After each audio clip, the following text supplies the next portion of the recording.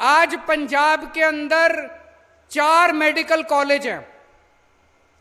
एक medical college अंग्रेज़ बना के गए थे।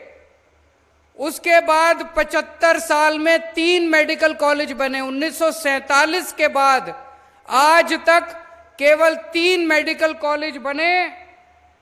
पटियाला, फरीदकोट और मोहाली। 75 साल में तीन मेडिकल कॉलेज बने। और अभी डेढ़ साल हुए आम आदमी पार्टी की सरकार को। हमने पाँच मेडिकल कॉलेज बनाने का ऐलान कर दिया, पाँच मेडिकल कॉलेज। ये पाँचों बनेंगे होशियारपुर में, कपूरथला में, संगरूर में, मलेरकोटला में और मोगा में।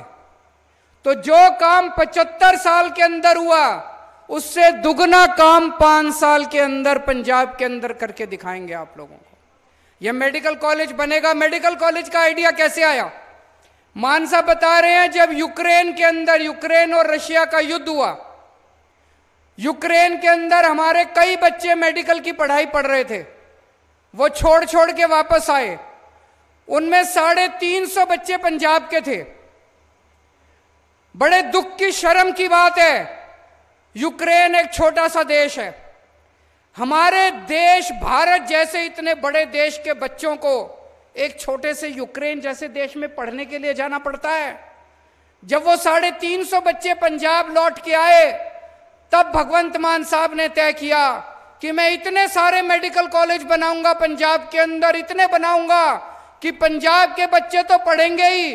दुनिया भर के सारे बच्चे आके पंजाब के अंदर पढ़ाई किया करेंगे, पंजाब को एजुकेशन का हब बनाया जाएगा।